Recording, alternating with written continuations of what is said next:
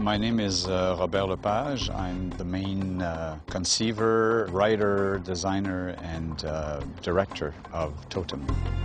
Totem is uh, pretty much about evolution, how man goes from being uh, a microorganism in, in, a lake somewhere to a, a reptile, to an amphibious, uh, to a mammal, to an ape, uh, eventually stands up like a man. And of course, his ideal and his goal of, of uh, one day flying or, or, going further upwards. So that whole trek is um, the main uh, inspiration of the show the first thing you think when you say totem, you think of a, a totem pole, but the totem is not just a, a totem pole.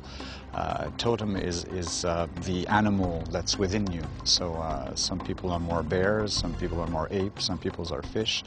So it's man recognizing that he is not just part of the human species, that he's also part of the whole chain, that he has within him all of the, uh, the species.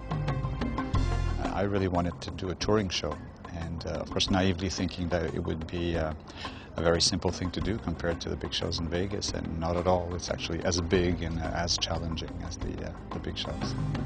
I hope people will come to see Totem and enjoy it because um, actually it's a, radically different show than everything Cirque produced before that, and uh, it's really entering the circus through a different doorway.